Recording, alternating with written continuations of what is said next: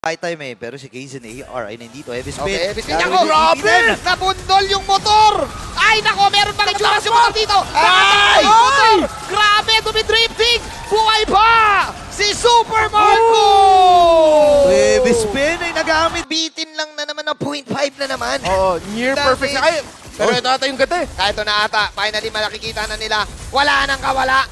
Kaso wala kang pantagos sa wall. Oh! Sayang, umi-X Grabe, grabe. Oh, crossover. Oh. Kumukros. Ang AP Bren with 6.8k uh, 6.8k gold lead. Oo. At ang taas na ng win probability Yeah, nila. ha? tinitipihan na nila yung sarili nila. Sa Oo. damo. Sa, damo.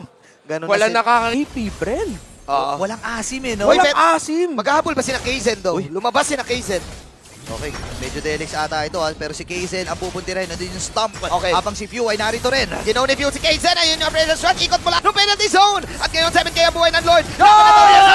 Easy. Aswell Echo coming in sa masagaip na tana. Yung minions. minutes. Kakayanin ba to? Tatlong Ng waves. Minana Ibos. Yun yung mga jabomba. Nagkabombahan. Pulado si Lord JM. May Mawala minions. pa si Flap dito. May immortality. Pero yung Lord ay babanata na ngayon.